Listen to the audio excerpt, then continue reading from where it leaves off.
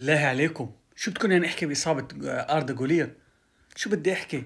ما هو طبيعي جدا إنه ينصاب. طبيعي ج... آه والله إحنا بنقول والله والله.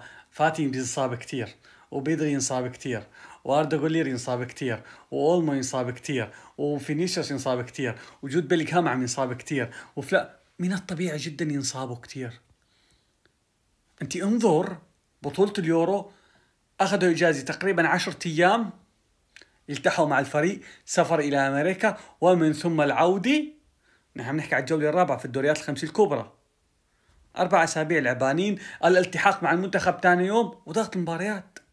أبي لك واحد والله كافو ما كان ينصاب أو روبرتو كارلوس أو ميسي على سبيل المثال أو رونالدو أو اللعيب القدامى ما كانوا ينصابوا كثير كرة القدم الآن تختلف. الآن اللعيبة القدامى ما كانوا يتعبوا 50% التعب اللي بتعبوه حاليا. الآن دخل معدات ومدرب بدني طبعا كان موجود ولكن تمارين شاقة أكثر وفحوصات وإلى آخره.